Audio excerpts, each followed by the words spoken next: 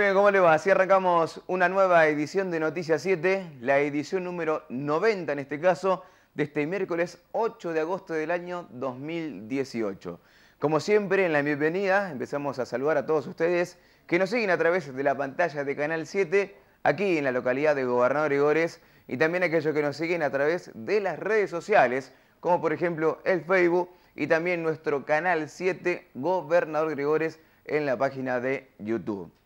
También aprovechamos y saludamos a aquellos que nos siguen a través de la pantalla de la televisión provincial, como es Canal 9. Así que bueno, a todos le damos la bienvenida. Hoy tenemos mucha información, hoy en, nuestra localidad, en esta semana, una importante reunión, capacitación, así se denomina, que tiene que ver con eh, la adquisición, en este caso, de nuevos equipos, eh, nuevos motores para la usina de Gobernador Gregores, en este caso estuvo presente el presidente, también la gente que estuvo a cargo de la capacitación, este, justamente para formar eh, trabajadores para poder este, trabajar, valga la redundancia, con estos equipos de Agreco, así se denomina la, empresa. Pero bueno, así que tenemos información, atención, porque también para nuestra localidad se vendrá una clase, una masterclass, se denomina, de Zumba, y todo tiene que ver que es eh, la idea proyectada para poder juntar fondos para una vecina de nuestra localidad que necesita realizarse una intervención quirúrgica. Y bueno, a raíz de la profesora que tenemos aquí en la localidad, como es Laura Agustín, se reunieron varias instructoras, se van a venir de varios lugares para poder estar presentes en esta masterclass, así se denomina, y poder de alguna manera, a través de la entrada mínima de 100 pesos, poder recaudar fondos, como decíamos, para este, ayudar a esta vecina. Pero bueno, en el arranque vamos a ir como siempre con el clima para nuestra localidad. A ver qué dice el clima para eh, Gobernador Gregores. Bueno, datos del tiempo entonces para Gregores. Está parcialmente nublado, temperatura actual de 3 grados, una máxima de 10, eh, lindo, con una mínima de 3, estaríamos en la mínima. Y el viento 19 kilómetros en la hora. Es la actualidad entonces del clima para Gregores, reiteramos, parcialmente nublado, temperatura actual 3 grados y el viento de 19 kilómetros en la hora. Bueno, arrancamos con la información, decíamos, una importante capacitación que tuvo lugar aquí en nuestra localidad con la presencia de autoridades de servicios públicos, en este caso el presidente, también con gente que estuvo a cargo de la capacitación, reunió a varios eh, trabajadores de distritos de las localidades de la provincia de Santa Cruz. En este caso nosotros pudimos dialogar con el presidente de Servicios Públicos, él es Lucio Tamburo, dando detalles sobre esta importante capacitación y también sobre lo que se vendrá dentro de muy pocos días sobre el cambio de usina de aquí de Gregores. Bueno, en una visita más a Gobernador Gregores, eh, desde aquel 10 de diciembre del 2015 cuando asumimos Tuve claro como presidente de empresa que uno de los pilares más fuertes que tiene servicios públicos es el interior. A veces me, duele decir interior, porque ¿qué es interior? Quédese tranquilo, lo manejo bien, pero para que podamos entender, no importa dónde vivas, vivan cerca, lejos, no importa. Eh, había que dar luz y agua las 24 horas del día, los 7 días de la semana, en una tarea que encontramos en una provincia con plenas dificultades pero en mi vida lo único que sé es trabajar mañana, tarde y noche y darle para adelante y frente a cada dificultad. Y en ese proceso, Gregores, que lo conozco del año 85, 87, cuando hacía mis primeros pasos, eh, tenía claro que la usina eh, no podía seguir estando donde está. Y empezamos a trabajar, nos demoramos un poco, pero hoy estamos en plena ejecución de montaje de la nueva usina. En pocos días ya vamos a venir a inaugurarla. Pero en ese montaje, y, tiene que ver con la pregunta, eh, la manejan personas, recursos humanos, y en este momento estamos haciendo justamente, los motores que vienen son de última tecnología, son cero hora, como se llaman, de una tecnología que había que capacitarse y aprender, son motores de última generación y no son los motores viejos que hacen ruido y, ensucian y, afectan el medio ambiente.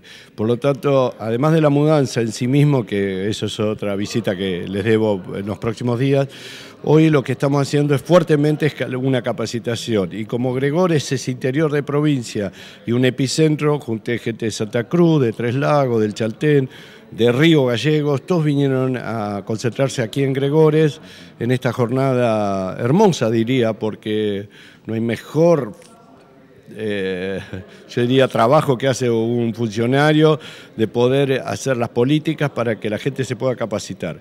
¿Qué es capacitarse? Es entrar en, la cabeza de uno conocimientos que se hacen carne y en la suma de pequeños conocimientos de uno con otro hace un trabajo colectivo hermoso. Escuchábamos sus palabras y decía bueno, que este 2018 usted lo tituló como el año de la capacitación. Sí, servicio público venía de un proceso complejo, que mm, no, es el motivo de la nota para, otro día, si querés podemos analizar. Y uno de los temas que yo veía que la gente estaba muy apagada, yo hablaba de libertad, eh, de empoderamiento, de volar, de eh, preferible equivocarse pero crecer. En ese crecimiento yo estaba convencido que empecemos un proceso muy fuerte de capacitación, muy fuerte. Hoy estamos hablando de energía, de, eh, todos estos chicos se van a recibir de operadores de grupos UGEM, que se llama a nivel internacional. Inclusive el curso es de una magnitud que se dicta en... Eh, eh, me contaba el profesor que venía de Sudáfrica, así que es un curso de alta tecnología. Eh, que, mm, y en ese proceso de capacitación convencido de que va a salir la empresa de abajo para arriba.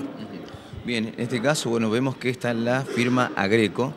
Bueno, en cuanto en lo que respecta a nuestra planta, bueno, vimos que ahí estuvo este, motores secos, bueno, en este caso Agreco. ¿Qué, ¿Qué diferencia hay o cómo se trabaja ahora? Hubo un proceso de licitación pública. Nosotros empezamos a intentar generar con motores propios. Pero hoy en día el mundo evoluciona minuto a minuto, la tecnología evoluciona, por lo tanto siempre quedábamos atrás de eso.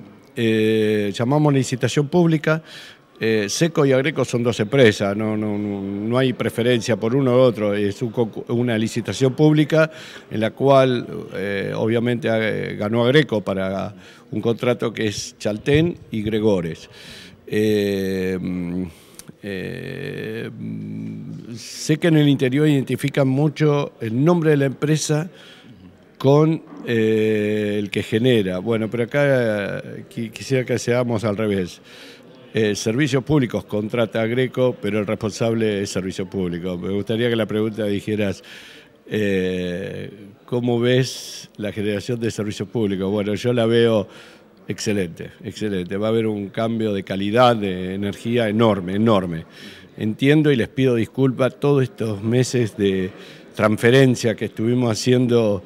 Eh, no veo la hora de que comiencen a funcionar ya definitivamente allá, porque es complejo sacar equipo, poner diferentes marcas. Hubo la transición de dejar seco para, para Greco. Sé que lo sufrieron mucho y estuvieron sin luz, pero les pido disculpas, pero eh, es el, Perdón, te lo hice por los reiterados cortes. Sí, sí, lo tengo al día. Sufro más que ustedes cuando me informan eh, hoy en día el teléfono te informa al toque todo, pero mm, convencido de algo, que todo esto era para un crecimiento, para algo mejor. Eh, ya la, no sé si has ido a ver el parque industrial, ahí está todo el movimiento del suelo, eh, ahora vamos a montar las líneas y en poquitos meses, ya, ya es un hecho, porque el contrato está firmado. Lo que pasa es que está generando en la vieja usina, ahora la vamos a trasladar. ¿Qué, será de la vieja usina o el lugar? Eh, ¿Queda en manos de servicios públicos, en manos del municipio? ¿Cómo es? Muy buena pregunta. Yo, convencido de algo. Ahí hubo mucha historia, mucha historia, inclusive hasta chicos fallecidos. y Entonces a mí me gustaría, si me preguntas a nivel muy personal, no va a ser una decisión mía, yo pensaría en un centro cultural. Yo estoy dispuesto a, ceder todo lo que tenga que hacer. Además de la ubicación estratégica, es un edificio hermoso, hermoso. Está, lo que pasa es que bueno, hoy en día es un desastre porque está todo sucio, entran los camiones de IPF, ya no van a entrar más los camiones de IPF eh, a la ciudad, van a ir por el, el tránsito pesado. Sí, el tránsito pesado, a Dios gracias.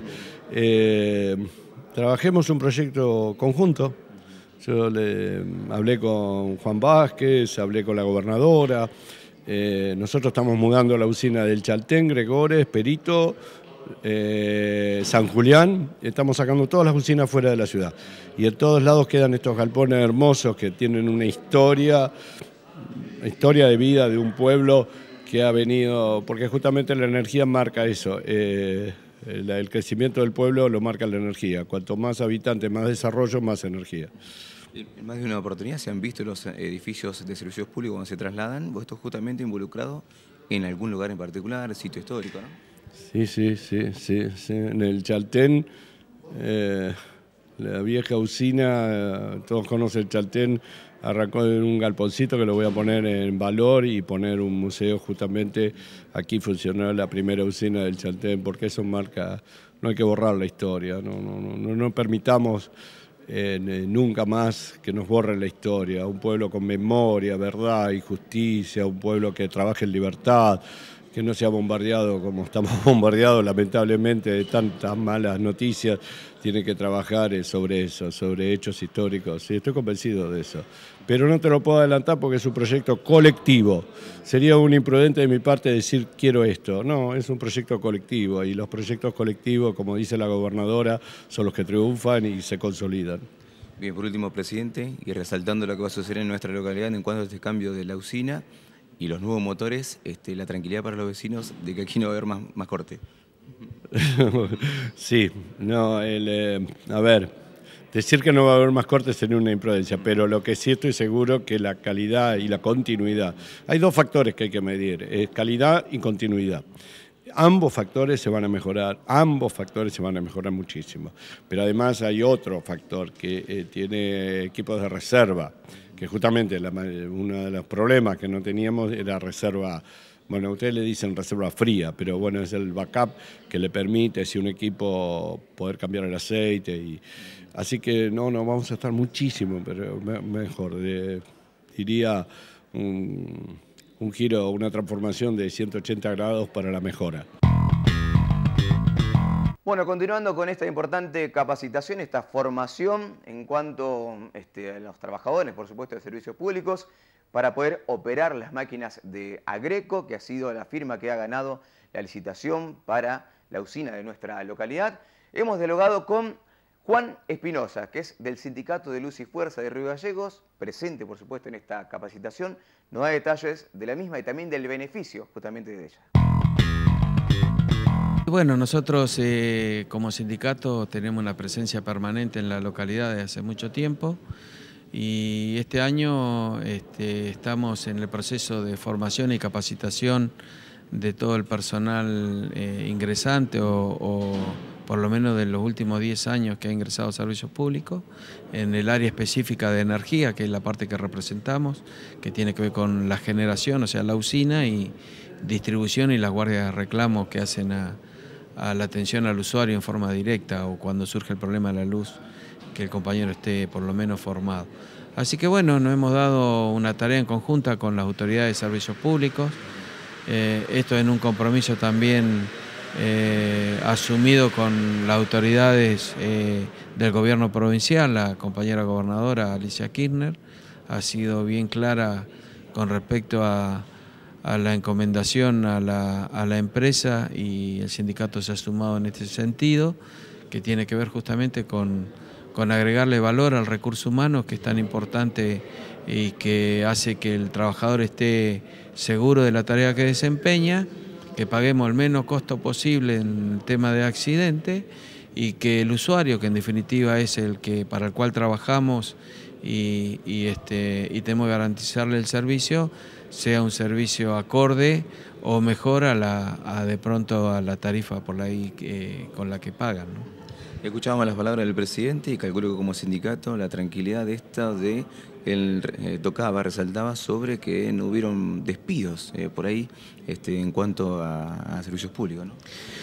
Bueno, nosotros eh, indudablemente esto se trata de un modelo económico nacional. Nosotros, este, la provincia de Santa Cruz, eh, los últimos 12 años hemos sido beneficiados con muchas de las infraestructuras o obras en, Santa Cruz, que si lo hubiésemos tenido que afrontar con recursos propios de la provincia, indudablemente no se podrían realizar como es el interconectado, el tema de los acueductos, el tema de, las rutas, eh, muchas cosas que se han realizado y que bueno, hay cosas que quedaron inconclusas a terminar por el gobierno nacional actual que todavía no se ha podido concretar, como es el caso de Río Turbio con con la mina y, la usina de 120 eh, megas, el tema de las represas que se ha demorado y que son, este, digamos, en el caso específico de Río Turbio, eh, eso es un,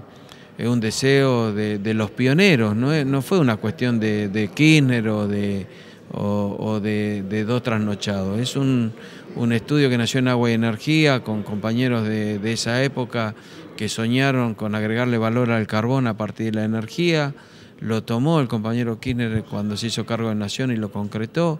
Hoy no está culminado, no está terminado, por lo tanto hoy tenemos eh, todo un desencuentro con el gobierno nacional. Obviamente es más importante para este gobierno nacional, eh, digamos, eh, que eso se cierre, que no haya un recurso, que no hay plata, el ajuste por el ajuste cuando en realidad no se tiene en cuenta que ahí tiene que ver con una cuestión geopolítica, una cuestión de pueblos. Eh, eh, la Patagonia se empezó a desarrollar con gente del país a partir de, del 78 de la guerra con Chile, el 82 con el tema de Malvinas, hizo que por lo menos empezara a poblarse de argentino, entre comillas, o de compatriotas esta zona y, hoy vemos que estamos volviendo a ser este, abandonados o olvidados por el gobierno nacional.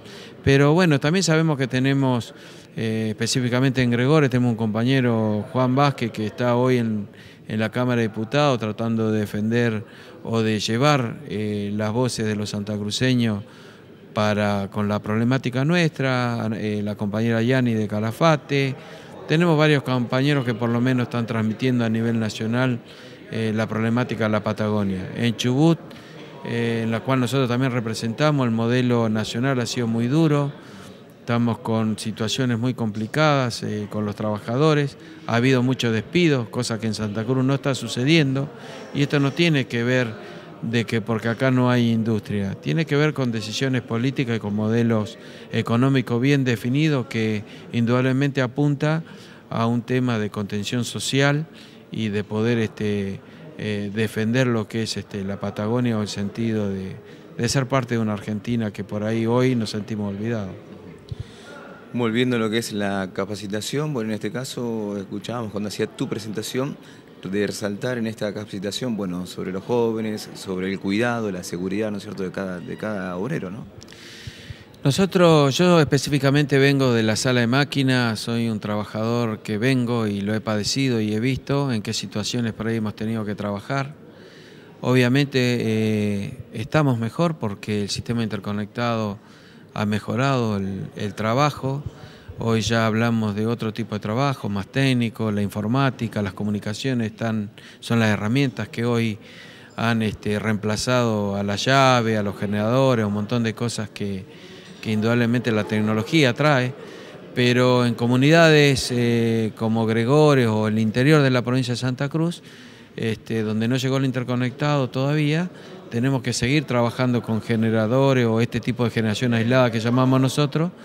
Y bueno, en ese caso nosotros queremos que no cometan los errores que cometimos nosotros en otros tiempos, donde a veces la falta de capacitación eh, o la inseguridad o el desconocimiento hacía que eh, realizáramos tareas expuestas a mucho peligro y o nos dábamos cuenta de qué no debíamos hacer cuando el compañero ya estaba lastimado y a veces hasta fallecido. Entonces, eh, desde el gremio, desde mi función como compañeros de, eh, de, sala de máquina o estar expuesto a esas tareas, yo les transmito a los jóvenes que hoy estamos ingresando por bolsa de trabajo, de que lo que deben hacer es justamente formarse para tener seguridad en el trabajo o la tarea que desarrollan y de esa forma estar seguro de lo que están haciendo, pero siempre priorizando este, su salud, porque yo siempre digo, Es preferible llegar a viejo para disfrutar los nietos y no ser recordado como un trabajador que pasó por servicio público porque se murió.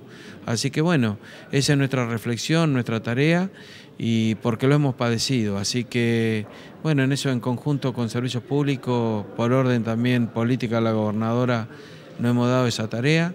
Agradecemos indudablemente a la parte política y específicamente a Greco, que es una empresa eh, nueva en la provincia de Santa Cruz, pero con trayectoria bastante importante a nivel nacional e internacional. Eh, hemos decidido en ellos, o, por lo menos convocarlos para que ellos sean eh, no solamente los que ganaron la licitación junto con otra empresa para la provisión de energía, sino también se priorizó en el armado de pliego la capacitación y formación del trabajador. Así que bueno, eh, agradecerle a la empresa porque sabemos que tiene una seriedad muy importante en cuanto al recurso humano y la formación. Así que por eso estamos en Gregores acompañando esta iniciativa, donde tenemos compañeros de todo el interior. Y, este, y el objetivo es formarlos justamente para brindar un mejor servicio o que el servicio que se brinda no sea a costa de la vida humana. Así que ese es el mensaje un poco que nosotros traemos para los compañeros jóvenes, trabajadores que se incorporan en servicios públicos. Bien, por último, lo tendremos dentro de poco tiempo en esta inauguración de nuestra nueva planta. Exactamente, estamos eh, ya en un proceso en Chaltén para la inauguración, que estamos poniéndonos de acuerdo con el gobierno o la provincia para las fechas tipos y también este, anunciar de que desde el sindicato estamos trayendo toda una capacitación a partir del mes de septiembre, donde vamos a traer todo lo que es RCP y seguridad y prevención en el trabajo. Así que vamos a estar constantemente en la comunidad o en los pueblos del interior, que hoy es lo importante para nosotros porque hemos estado abocados constantemente a las grandes ciudades. Así que bueno, eso es un poquito lo que eh, indudablemente nos trae por aquí, vamos a seguir este, visitando a pesar de que, bueno, de Gregorio vengo del año 85, muchos nos conocen, y siempre lo hacemos con el afán de, del trabajo, de la formación, capacitación y del trabajo en Gregorio. Bien, muy amable. No, muy amable y gracias a la comunidad por, sobre todo la paciencia estos días con respecto al tema del montaje y algunas cosas que, que van a ser este, producto de que se mejore la calidad del servicio para la comunidad. Bueno, y toda esta importante reunión, capacitación, formación, eh, se pudo lograr a raíz de un coordinador. Él es Mario Ruiz, es de nuestra localidad, en este caso nos habla un poco sobre cómo se logró traer esta formación, esta capacitación aquí a la localidad y también un poco de los detalles del cambio de la usina de Gobernador Gregores. Este, este, es un proceso que comenzó a, partir del, nuevo, de la nueva gestión del presidente de la empresa, en conjunto con el sindicato, para empezar a capacitar al personal para que tenga realmente un personal idóneo en la materia. Este, esto es una muy buena idea, este, porque la empresa está eh, tomando parte en el capital más importante que es el recurso humano. Este, a partir de la, llegada de otra firma, este, anteriormente estaba la empresa SECO, que también ha quedado dentro de la empresa de servicio público, pero con otras localidades este, en el tema de los alquileres de los motores. Acá le ha tocado a la empresa Greco, eh, Gobernador Gregores y Chaltén, y ellos como política de trabajo tienen como premisa la capacitación de la persona que va a manejar sus motores charlando con el presidente, bueno, destacábamos este cambio de la usina en nuestra localidad pronto, ¿no? Sí, ese está en, pleno proceso. Eh, calculamos que en 60 días se estaría dando eh, el cambio tan anhelado por, la comunidad, ¿no? Ahí funcionaría totalmente equipamiento agreco, ¿no? Sí, el, traslado de la usina lo va a hacer Agreco porque es la que ha ganado la concesión de los motores y por ende es la que va, se va a responsabilizar de la confección de la usina y de, digamos, de todo lo que sea el trabajo previo para arrancar desde la usina nueva. Le preguntábamos al presidente de estos cortes que vienen aquí en nuestra localidad, ¿no es cierto? Bueno, nos hablaba sobre justamente la transición de este, equipamientos, eh, bueno, todo lo que se va armando para justamente este cambio, ¿no? Sí, esto es parte de eso también, ¿no? Es tratar de, profesionalizar a la gente lo más que se pueda para poder este, eh, poder manejar estos motores, para poder encontrar este, el equilibrio porque bueno, estos, estos motores, este, el que conoce de fierro sabe que funcionan de, distintas maneras en distintos lugares. acá hemos tenido problemas con el gasoil por, por las bajas temperaturas, hemos tenido problemas con el seteado de motores para ponerse en órbita con lo que es la generación del pueblo y esas son cosas que se van arreglando a poco y, van apareciendo y bueno, esto es parte de este proceso. Destacaba también, bueno, la gente que está con, esta capacitación sobre los jóvenes que están presentes, ¿no? Sí, eso la verdad que es muy importante porque se, tiene que empezar un cambio generacional y que los mismos deben estar capacitados para, para encarar este proceso que es la, modernización del trabajo. Hoy este, eh, la mayoría de los motores en usinas mucho más modernas se manejan solamente con telemetría, eh, se compra en barra, la empresa eh, no quiso, este, de parte de la empresa en sí, no quisieron tomar esa, esa otra opción que había para no desvincular a la gente de, su trabajo, ¿no? de su tarea. Entonces, este, además, hay un montón de factores que todavía no están en la localidad como para eh, empezar a, trabajar con, esa, con ese tipo de, tecnología. Bien, por parte del sindicato, este, charlábamos con Juan, nos decía bueno que prontamente va a estar también en la localidad a raíz este cambio de la usina para más capacitaciones. Sí, eh, desde el sindicato estamos este, constantemente pidiéndole que capaciten todos los sectores, tanto redes, eh, la parte administrativa, generación, que es este caso, para que realmente empecemos a profesionalizar el trabajo, ¿no? Bueno, entonces es realmente positivo toda esta, esta reunión. Eh, por ser la primera, creo que sí. Yo ya llevo más de 20 años en la empresa y es la primera vez eh, que hay un curso de capacitación, y lo cual es un evento que, del que tenemos que estar atentos a, seguir, ¿no? para, para evitar también un montón de, falencias que por ahí este, escapan a nosotros, como es este, el tema de la modernización a través de las computadoras y todo ese tipo de cosas, que nosotros estamos ajenas a esas cuestiones por ahora. La empresa Greco se ha comprometido a a tomar un, empleado de la localidad para manejar el mantenimiento, lo que es este Gregorio y Chaltén. Y también es bueno porque, bueno, una fuente más de trabajo y capacitar a la gente les resguarda a ellos de su, de su motor y de su, de su tarea, digamos. Bueno, cambiamos un poco el ángulo de la información. Hace tiempo que aquí en Gobernador Gregores se está dictando clases de Zumba a raíz de la instructora Sin Laura Agustín. Y bueno, surgió una idea importante, todo referido a poder ayudar a una vecina de la localidad. Poder juntar fondos porque la vecina, bueno, se va a hacer una intervención quirúrgica, una operación, y es cara. Y a raíz, bueno, de una idea de nuestra instructora, este, se armó una masterclass. Se van a reunir varias instructoras, van a venir de distintos lugares este, para dictar justamente esta masterclass aquí en nuestra localidad.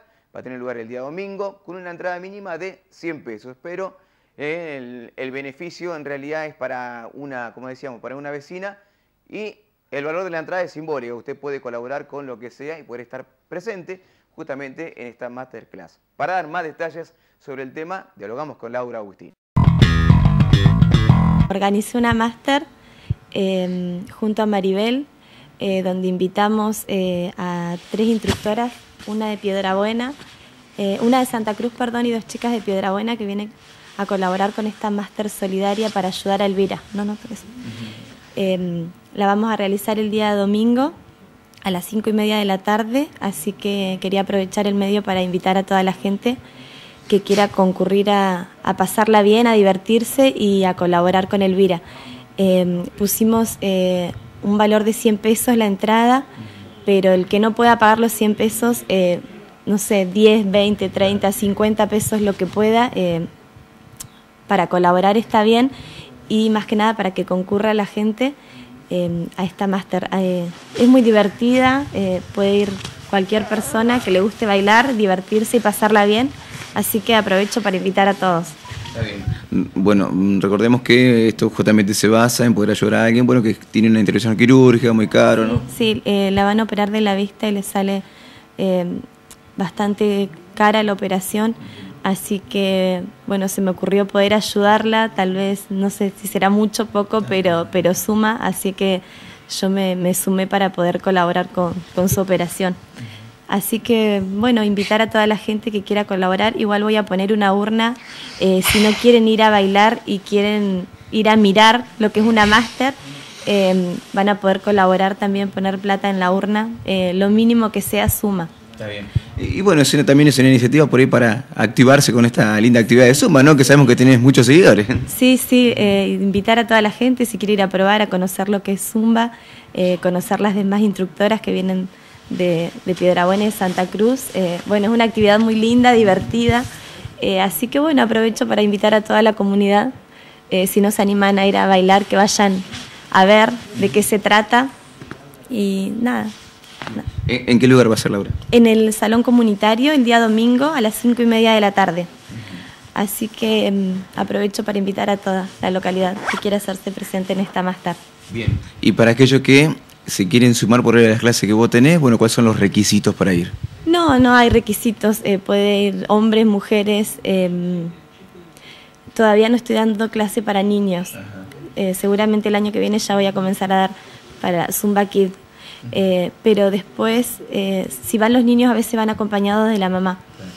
Eh, así que el que se quiera sumar, la primera clase de prueba es gratis para ver de qué se trata. Y me están quedando el horario de 4 a 5 los días martes y jueves. En ese horario tengo lugar, así que el que quiera sumarse, bienvenido sea. Así es, bueno, una linda actividad para sumarse, un movimiento que tiene que ver, algo muy bueno. Es muy divertido, lo puede hacer cualquier persona no importa la edad, eh, nada, es venir, divertirse, pasarla bien eh, y de paso trabajar su cuerpo. Eh, así que el que quiera lo, espero para participar de mis clases. Bien, Laura, limpiamos la información entonces, lo que va a suceder este fin de semana. El día domingo a las cinco y media de la tarde en el Salón Comunitario, espero todo el que quiera participar y colaborar con Elvira está invitado. Ya saben, si no pueden acceder a la entrada de 100 pesos, igual pueden venir y poner 10, 20, 30, 50 pesos, lo, que puedan. El tema es poder colaborar y pasarla bien. Bueno, después de toda la información vamos a compartir el clima en el territorio nacional, en este caso de la mano de Sofía.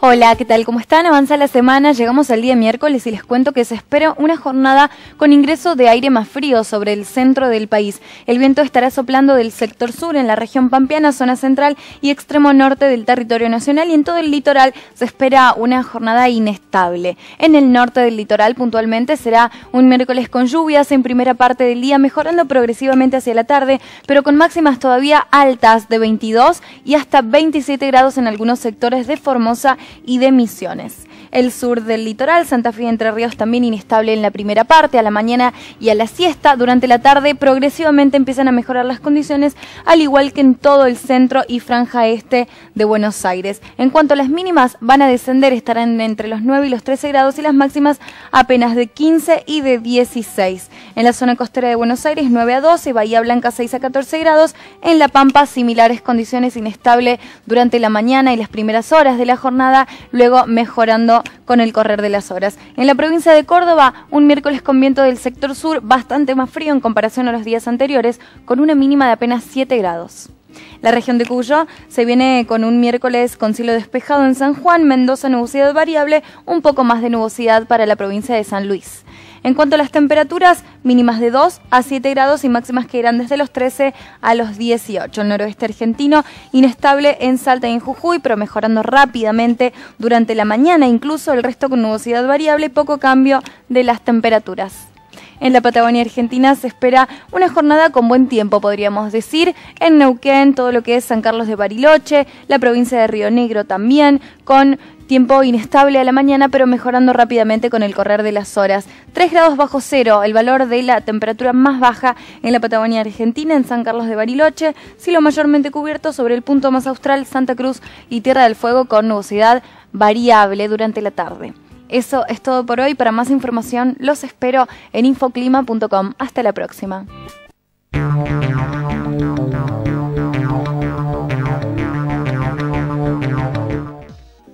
La municipalidad de Gobernador Gregores, junto al diputado por pueblo, informan a toda la comunidad que durante los días lunes 6 de agosto y martes 7 de agosto del corriente año estará atendiendo en nuestra localidad la endocrinóloga doctora Donadío Claudia.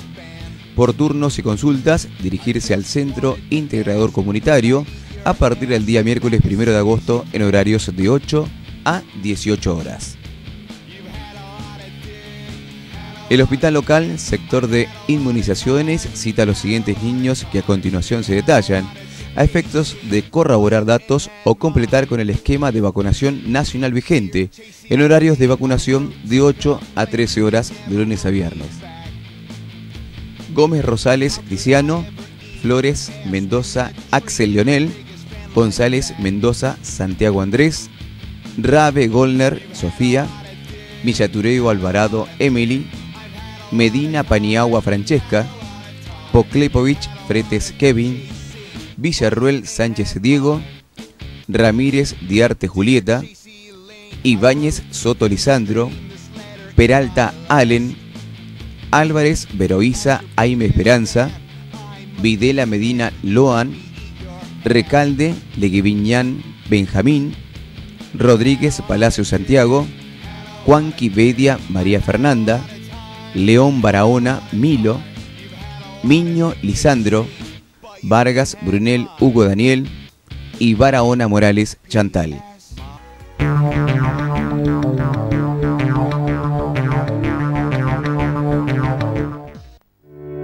En la mesa pones siempre lo mejor de vos. Y con nuestra marca La Anónima le sumas la mejor calidad al mejor precio. Productos La Anónima, calidad y precio siempre de tu lado. La Anónima te ayuda a comprar mejor. Supermercados La Anónima. Que de mí ya te olvidaste y de tu mente borraste cuando yo te hacía pam pam pam pam pam pam pam pam pam pam pam y como suena y suena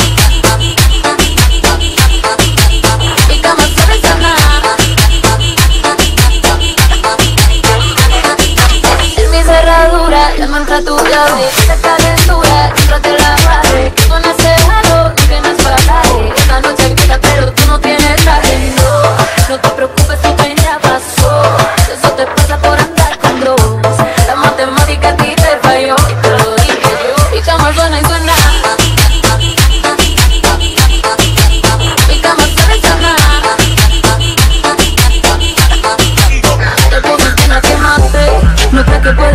ni con cartera ni con diamantes mi vida cambió.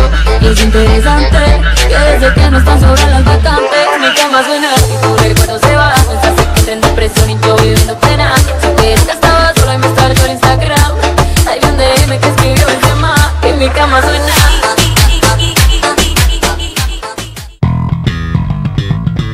Bueno, y después de compartir el clima en el territorio nacional, vamos en búsqueda del pronóstico extendido para gobernador Gregores. ¿Le parece?